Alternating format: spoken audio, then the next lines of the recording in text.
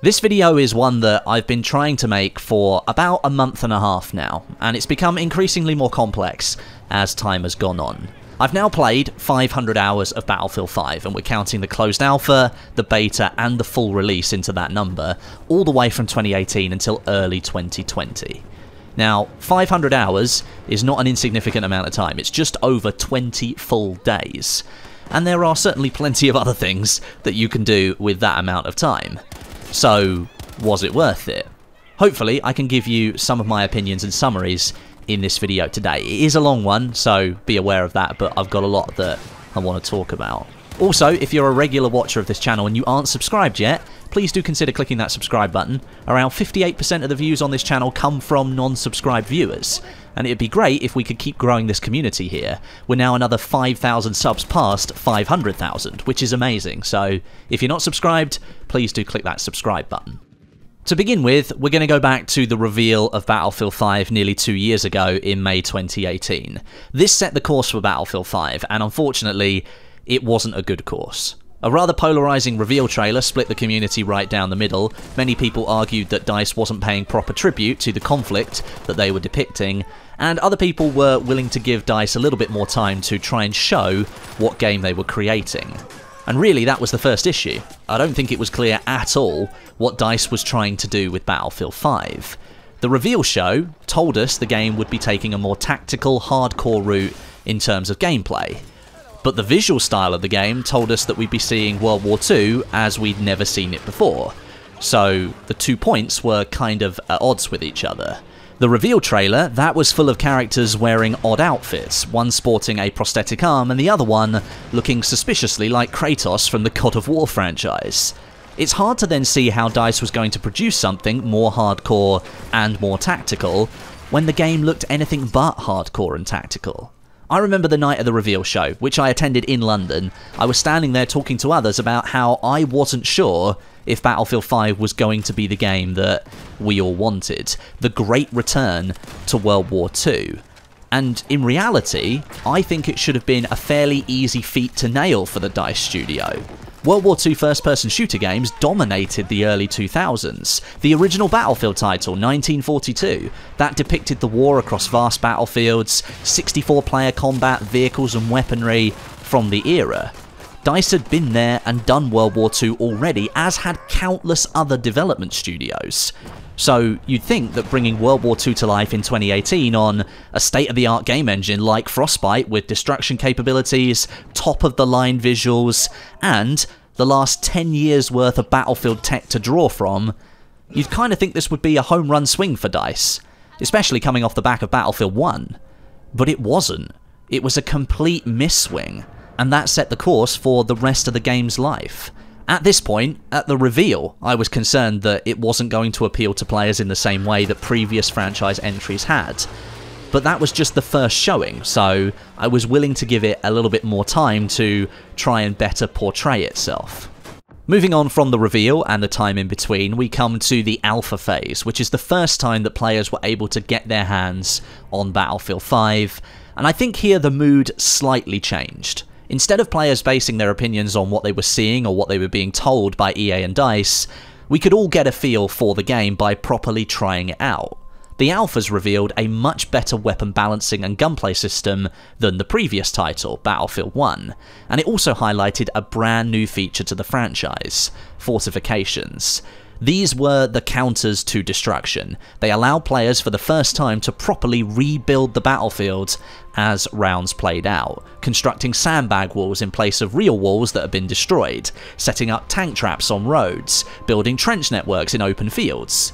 It was a great step forwards for the Battlefield franchise. The franchise had long been praised for its destructive environments, but it had also been criticised at the same time, sometimes leading gameplay to break down due to a lack of solid cover. The fortification system provided a dynamic solution to that problem, allowing players the freedom to choose how they wanted the cover to operate once the map had taken a little beating from some explosives. Other features, such as attrition and a more direct focus on squad play, they shone through as well, affecting general gameplay in a way not previously seen in the franchise. players weren't able to automatically regen health, and they had to rely on scavenging for ammunition off of dead players, and that added that more hardcore feeling to the game. That part of DICE's reveal pitch, creating a more tactical shooter feel, that was being executed on. However, the alpha also reaffirmed DICE's art direction with the game, and decisions around the way World War II was being portrayed. Soldiers in eye-raising outfits dominated the gameplay sessions and largely dominated the coverage of the game during the summer of 2018 and that caused some further rifts in the community. Some players largely willing to ignore the cosmetic decisions that DICE was making, and others flat out refusing to accept DICE's portrayal of World War II as anything but an insult. And then if you add into that issues with player visibility rising from the alpha due to the extremely high fidelity assets that DICE was producing and the colouring of soldiers blending into backgrounds easily, it made for a rather difficult experience. Whatever side of the fence you sit on, I think we can all agree that DICE was failing to shake what was already a very polarising image for the game, and you don't often get a second chance at a first impression. The alpha stage was that second chance, and DICE didn't do themselves any favours. This is the point where I genuinely began to feel that Battlefield 5 was not on the right path. Then we swing into the beta, where Battlefield 5 was just coming off a launch delay announcement. A few days before the preload and early access to the beta started, DICE and EA announced that the release date of Battlefield 5 was being pushed back by a month into November. The cited reasons for this delay were to make sure that the team had sufficient time to polish the game up for a smooth launch and to make some final adjustments to the core gameplay. Now, when you're making adjustments to the core gameplay only two months out from your original release date, well, that's going to set some alarm bells ringing. If you need to make changes to the game's core values so late in the day, that tells me that the game wasn't hitting the audience in the way it was intended to, which confirmed my earlier concerns that the game just wasn't on the right path. The feedback pouring in from players was that, first of all, the game still didn't feel like a World War II game, and that the way DICE was depicting it was insensitive, and secondly, that certain features that sounded great on paper weren't actually translating into good gameplay. Features such as attrition and the lack of health regen meant for a far more punishing experience than any previous Battlefield had offered in its standard modes. It felt like playing extreme hardcore from past games, and that usually required players to join specific servers for that experience. DICE's response was to massively tone down attrition, making ammo a lot more plentiful, and offering players more health options by increasing the amount of stations on the map that you could heal from. These changes completely diverted from the game's already sketchy vision by toning down aspects that were explicitly used to try and tell players what the game was going to be and it felt as if DICE themselves didn't really know what Battlefield 5 was supposed to be. If the team did know, then I'm confident that they wouldn't have been so quick to change anything. However, at the same time, where they were changing stuff in terms of gameplay, the team remained staunchly committed to their artistic vision, and yet again, just like the reveal, two major aspects of the game were so strikingly opposed to one another. Then, after the beta, you of course have launch and beyond. Battlefield 5 suffered a pretty miserable launch. The month's delay was clearly not enough time for the team to check in bug fixes, implement changes, and polish off the experience properly. The game should have been delayed for quite a bit longer. The game launched in a really poor state, performance-wise, with core features like progression not working properly. The lack of content, which players were already concerned about based on trailers and articles that were posted before launch, was now clear and obvious to everyone. The game launched with only 8 multiplayer maps. That was one less than Battlefield 1, and I remember people complaining about that, and 2 less than Battlefield 4. And the maps that were included in the launch weren't anywhere near as enthralling or exciting as perhaps they could have been. The only maps from the launch lineup that I really liked were Devastation, which depicted the aftermath of the Rotterdam bombings, giving a truly grim feeling, and Arras, the rolling hills of the French countryside. The other maps, they kind of just felt like they were there. There was nothing really special about them, and to be brutally honest, there's nothing really that special about Devastation or Arras either. The Grand Operations mode, another flagship point, of Battlefield 5 used heavily in marketing was largely considered a downgrade over the Battlefield 1 incarnation. The progression systems within the game were severely lacking and launched with bugs, allowing players to reach max rank in some cases inside a week from the launch of the game.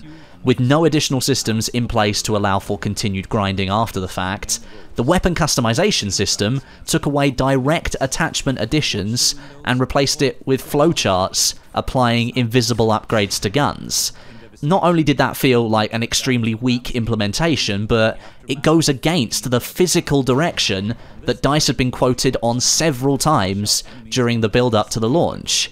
It denied players the opportunity to physically apply attachments that they wanted on their guns.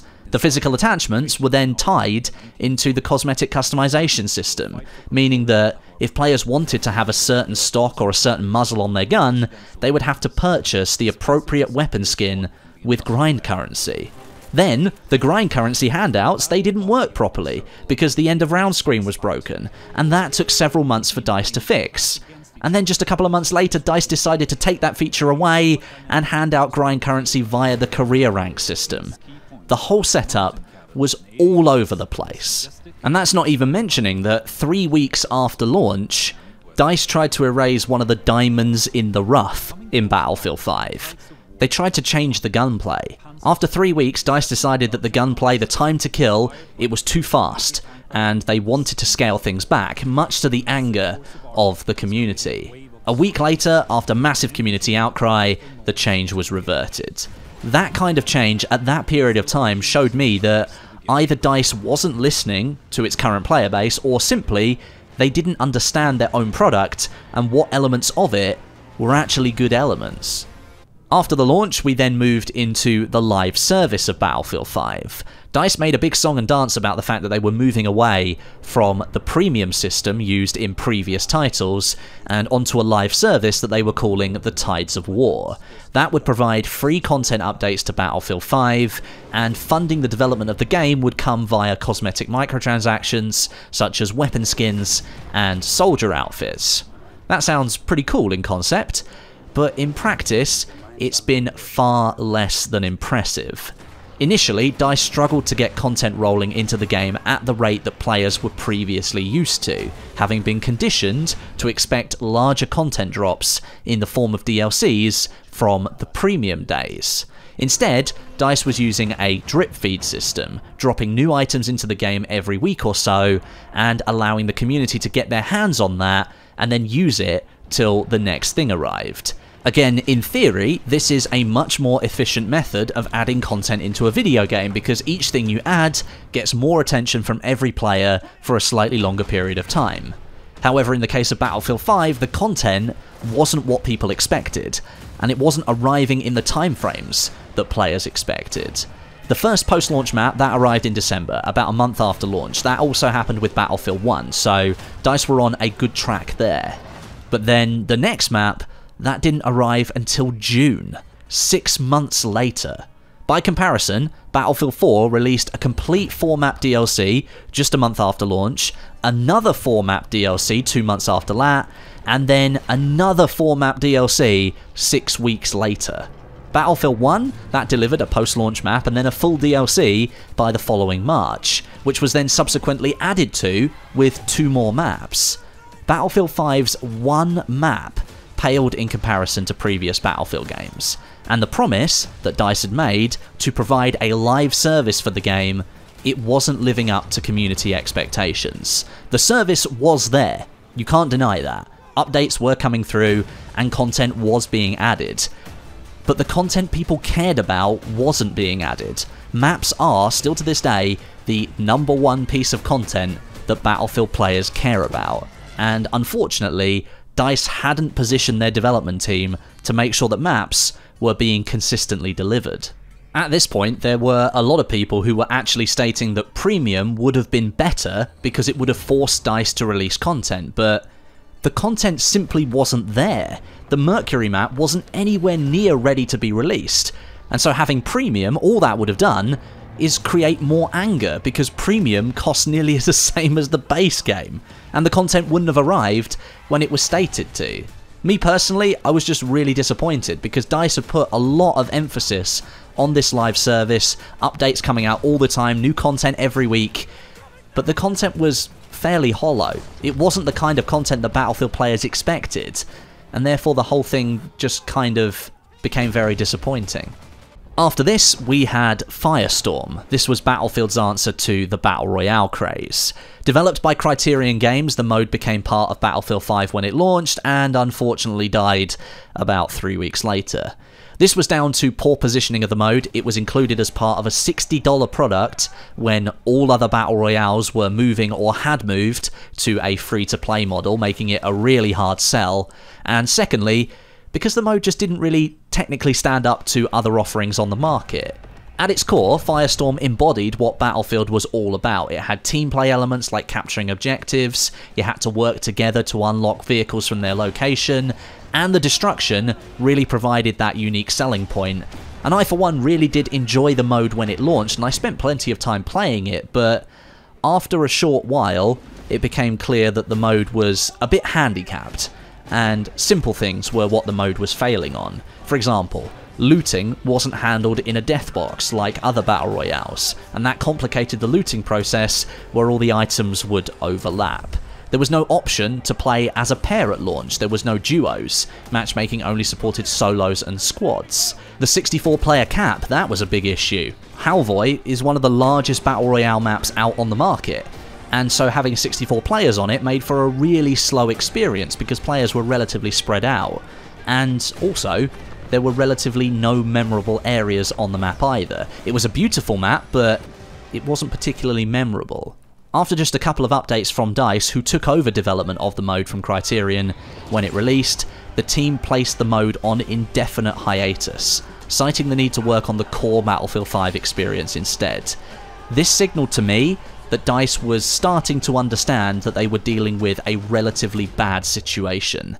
They chose not to support, improve, and build on a game mode that was built to compete in the exploding Battle Royale market.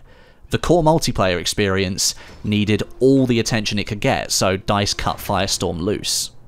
After Firestorm began the build up to the Pacific, a section of redemption and further downfall.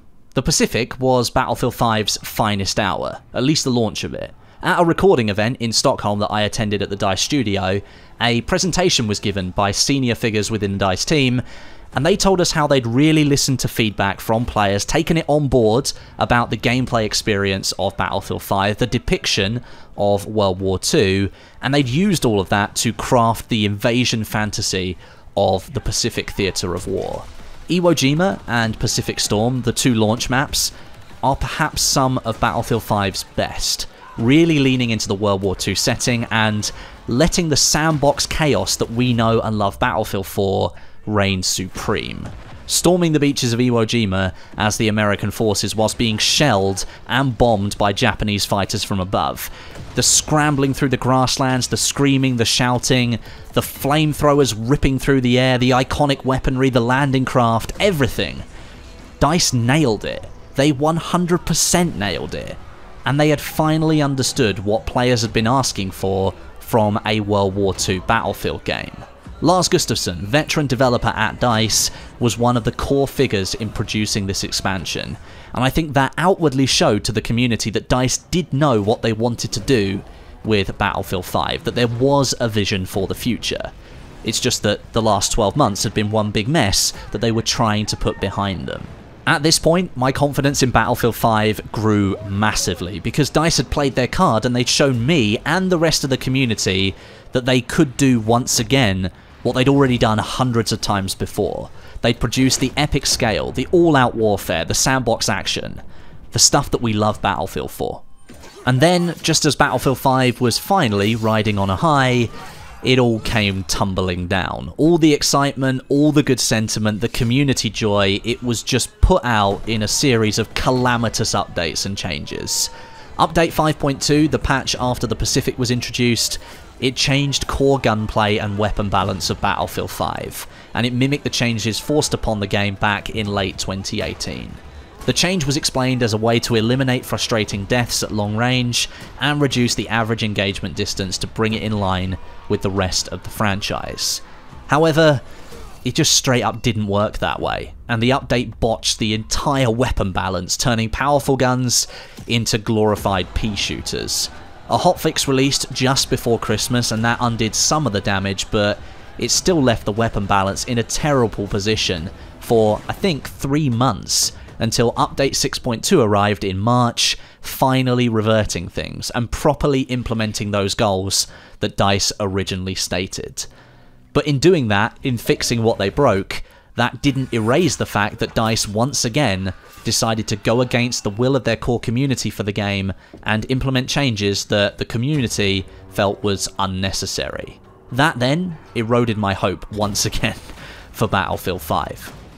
So, were my 500 hours of Battlefield 5 gameplay well spent? I'm guessing from the tone of this video you can probably tell what my answer's going to be, but it's a little bit more complicated, so let me explain it.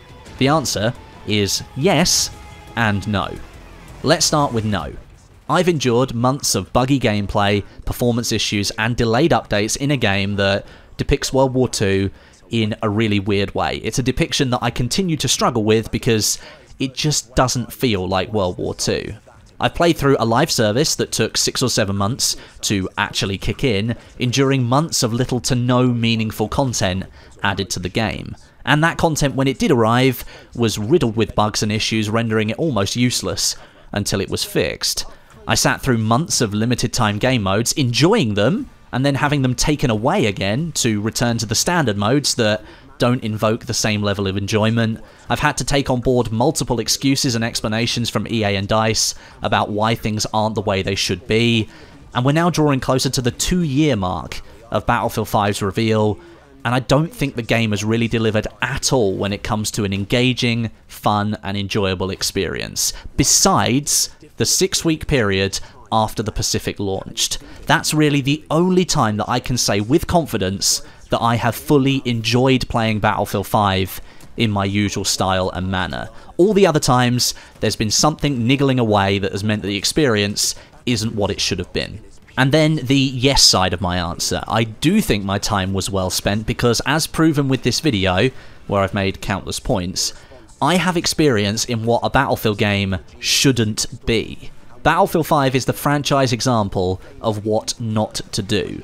Don't twist history in a way that doesn't improve the experience. Don't say things like, if you don't like it, don't buy it, because you make yourself a massive target and it makes things worse for longer. Don't tell your community you're going to provide a live service and then provide little to no meaningful content for months on end.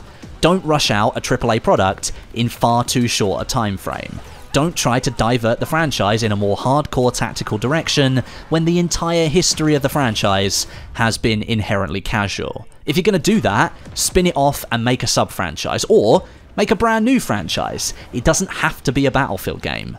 Don't take your mainline numbered series and deviate from the formula that has served you so incredibly well for nearly two decades. Don't spread your offering so wide that each element then falls massively short. Battlefield 5 had a single player, a co-op, a battle royale, and a main multiplayer. And three of those elements were made by just one team. That stretched everything way too thin, and the result was a subpar experience in every area. The single player, it lacked emotion and it lacked historical impact. The co-op, that was completely different to what was originally advertised. There was no AI system to invent new scenarios each week. Instead, it was just this bland, static, pre-made mission offering on multiplayer maps. The Battle Royale, it was true to what Battlefield is, but it lacked the proper support after launch to ever really stand a chance of succeeding. And the multiplayer, the element of Battlefield that everyone knows and loves, it fell limp from a lack of content and completely misguided direction. Or no direction, as the case may be. My 500 hours of Battlefield 5 have been full of frustration and anguish, with just a sprinkling of excitement on top. No previous game in the franchise I've ever played has given me this experience that I've had with this one. And so while a lot of you might then consider or conclude that my 500 hours was a waste of time, I don't really see it that way. I've now experienced, hopefully, the worst of Battlefield. And in the future, I'll know how bad things can really get before they get better. Thanks very much for watching. If you made it all the way through, that's amazing. I don't expect anybody to sit through a 25 minute video, so thank you very, very much. Leave some comments and some thoughts down below in the comments section and leave the video a like as well. That's always appreciated. And I'll catch you all in the next one.